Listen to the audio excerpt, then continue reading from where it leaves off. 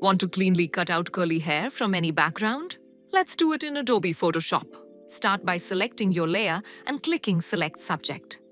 Then, pick any highlighting tool, open the Select and Mask, enable Smart Radius, switch to Color Aware, and use the Refine Edge tool to carefully refine the hair edges. Turn on Decontaminate Colors for a cleaner cutout. After that, create a new solid fill layer. Set this layer to white color, then place it under your masked layer.